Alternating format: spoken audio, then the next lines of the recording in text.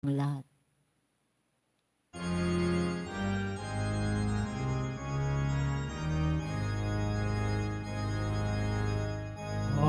Hallelujah.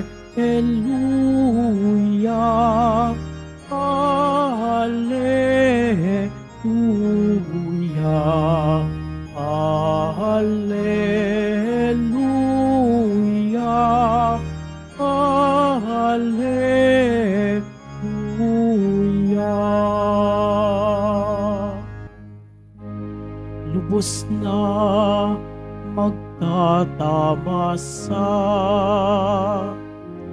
ng pag-ibig ng Diyos Ama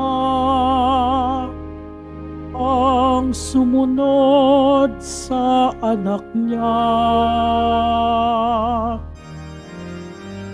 Hallelujah.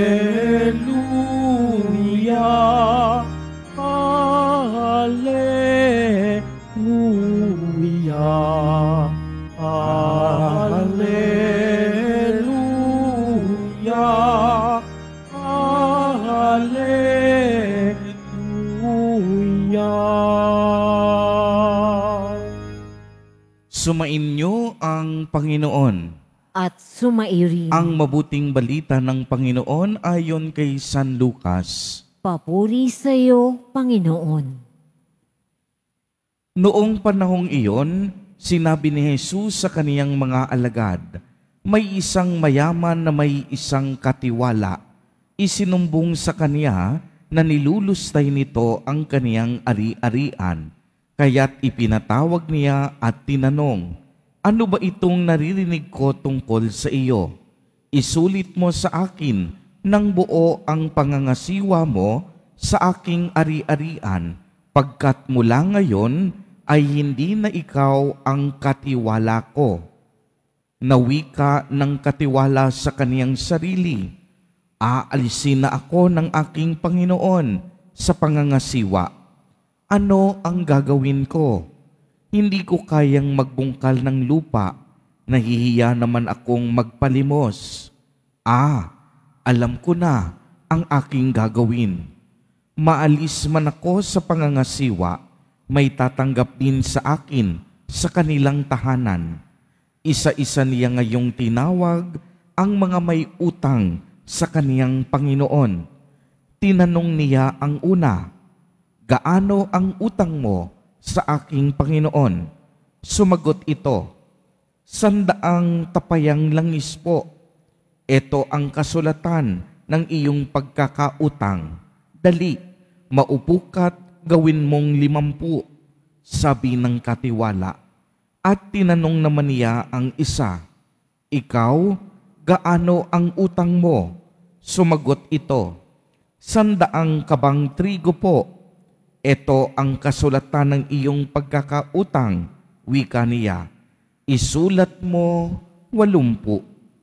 Pinuri ng Panginoon ang mandarayang katiwala dahil sa katalinuhang ipinamalas nito, sapagkat ang mga makasanlibutan ay mas mahusay gumawa ng paraan kaysa mga makadiyos. Ang mabuting balita ng Panginoon. Pinupuri ka namin, Panginoong Heso Kristo. Magsiupo muna po ang lahat. Magandang umaga po sa inyong lahat, mga kapatid kay Kristo. Sa lahat po ng ating mga taga-subaybay sa iba't ibang online platforms at sa lahat ng ating mga kadiboto sa iba't ibang panig ng Pilipinas at maging sa buong mundo kung saan tayo ay naaabot ngayon ng ating live streaming. Mapayapang umaga din po sa inyong lahat. Purihin at dakilain natin ang ating Panginoon, ang mahal na poong Jesus Nazareno.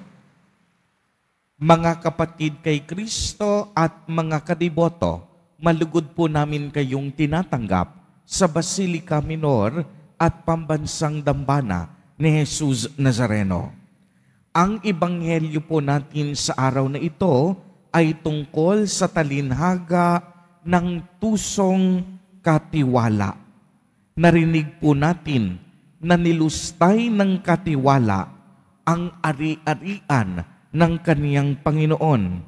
Kaya naman, siya ay inalisan ng karapatan o kapangyarihan na maging isang katiwala. Kaya binibigyang diin sa talinhagang ito ang tungkol sa pag-uugali ng tao kapag pinag-uusapan na ang tungkol sa pananalapi, sa mga yaman o mga material na ari-arian.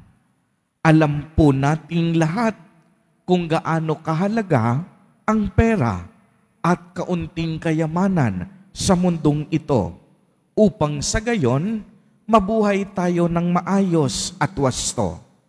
Wala namang pamilya ang naghahangad na malugmok sa kahirapan ng buhay. Kaya nga kung inyong mapapansin, ang ating mga kababayan kailangan pang makipagsapalaran sa ibang bansa upang magtrabaho at maging mga manggagawa sa ibang bayan. Matugunan lamang ang pangangailangan ng kanilang pamilya. Kung tatanungin ba natin kung masama ito, walang masama sa paghahangad na maiahon mo ang iyong pamilya sa gitna ng mga paghihirap at pagtitiis ng buhay. Walang masama sa mga OFW. Walang masama sa mga overseas Filipino worker. Kaya naman, alam din ni Jesus Nazareno na hindi masama ang magkaroon ng kaunting yaman o maghangad ng tamang pera, lalo na kung ito ay gagamut, gagamitin sa mabuti at makabuluhang paraan.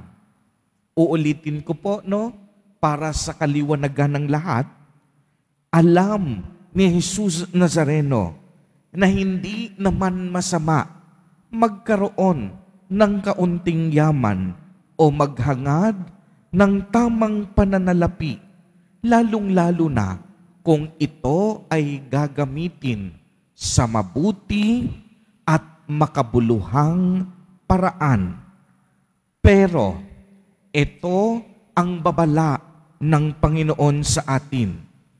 Huwag nating hayaan na tayo ay mabulag at maging masyadong mapaghangad sa material na bagay na ginawa ng katiwala sa talinhaga dahil ang lahat ng mga bagay na mayroon tayo sa mundong ito lilipas din at panandalian lamang.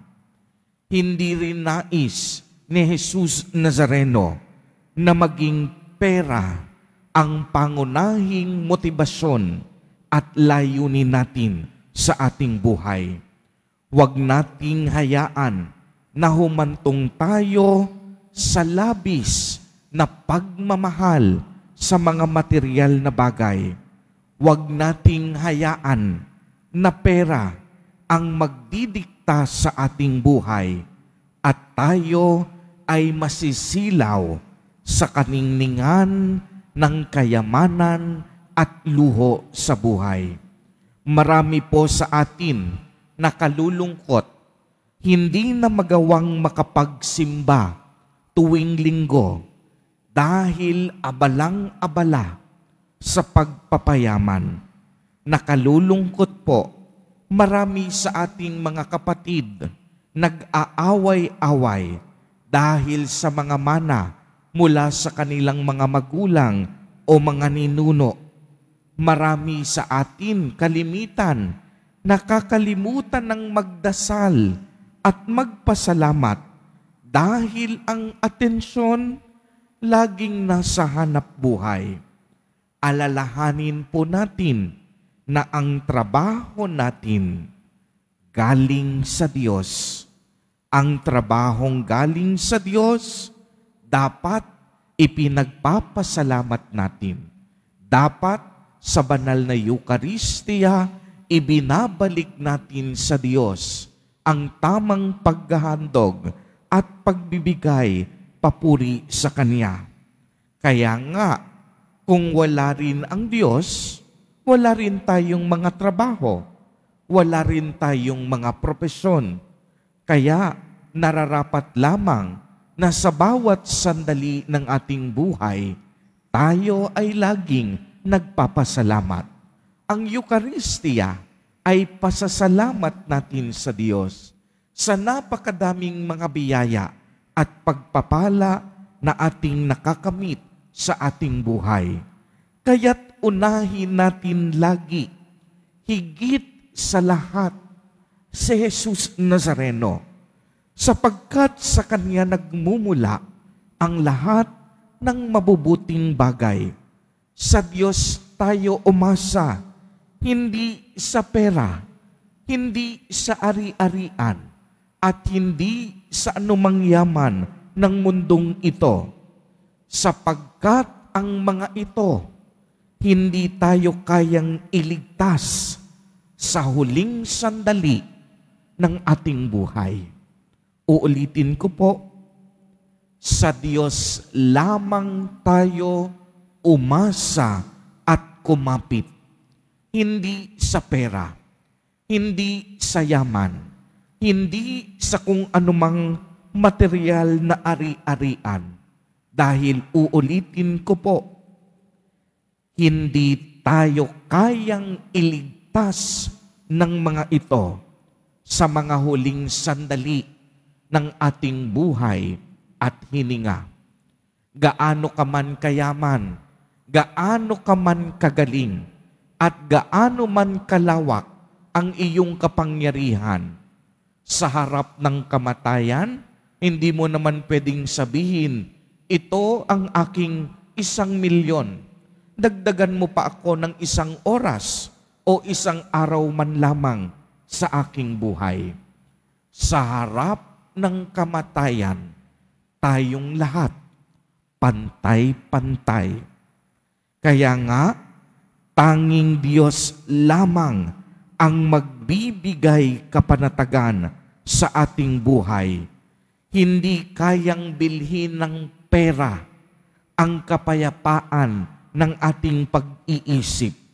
Hindi kayang bilhin ng pera ang pagkakaroon natin ng pag-ibig, pag-asa at pananampalataya. Hindi kayang bilhin ng pera ang tamang respeto at pakikipagkapwa-tao. Kagaya nga sin- ng sinabi sa isang napakagandang awitin, Tanging Diyos lamang ang magbibigay kapanatagan sa ating buhay. Sabi sa lyrics ng kanta, napakaganda. Sa Diyos lamang mapapanatag ang aking kaluluwa dahil sa Kanya nagmumula ang aking pag-asa at kaligtasan. O Diyos, ikaw nga ang kaligtasan. Nasa iyo ang kaluwalhatian. Ikaw lamang ang aking inaasahan, ang aking muog at ang aking tanggulan. Paniniil, hindi ko pananaligan. Puso ko ay hindi ihihilig sa yaman, kung hindi sa Diyos na makapangyarihan ang aking lakas at tanggulan. Tanging sa Diyos lamang mapapanatag ang aking kaluluwa. Sa Kanya nagmumula ang aking pag-asa at ang aking kaligtasan. Mga kapatid kay Kristo at mga kadiboto, tandaan po natin lagi, hindi dapat pera o mga ari-arian sa mundong ito ang dapat magdikta sa ating buhay. Si Jesus Nazareno ang dapat maging hari ng ating puso. Siya ang dapat gumabay at magpatakbo ng ating buhay. Amen. Purihin at dakilain natin ang ating Panginoon, ang mahal na poong Jesus Nazareno.